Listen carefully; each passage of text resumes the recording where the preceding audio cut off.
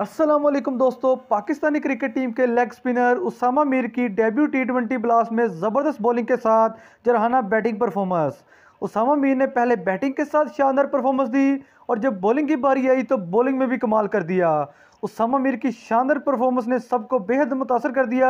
आपको बताएँगे मुकम्मल तफसील के साथ कि आखिर उसामा मीर ने कितने रन स्कोर किए और कितने छक्के चौके लगाए और बॉलिंग में कितने खिलाड़ी को आउट किया। लेकिन इससे पहले प्लीज़ चैनल को सब्सक्राइब करें और साथ लगे बेल आइकन को भी प्रेस कीजिएगा। चले बात करते हैं उसामा मीर की परफॉर्मेंस के हवाले से कि उसामा मीर अपना पहले ही मैच टी ट्वेंटी ब्लास्ट का खेल रहे थे। वरिस्टर शहर की जनब से जहाँ उन्होंने पहले ही मैच में नोटिंगम शहर के खिलाफ बैटिंग करते हुए दो छक्कों और दो चौकों की मदद से छः बॉलों पर 21 रन की नोट आउट इनिंग खेली जिसमें उन्होंने डेविड विली और एंड्रयू टेई को एक एक छक्का भी लगाया।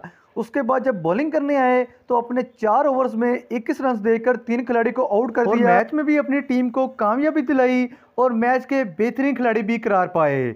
दोस्तों ये थी उस समा मीर की अपने पहले डेब्यू मैच में शानदार परफॉर्मेंस वीडियो अच्छी लगी हो तो लाइक कीजिएगा। अगली वीडियो के लिए इजाज़त दीजिए। अल्लाह निगे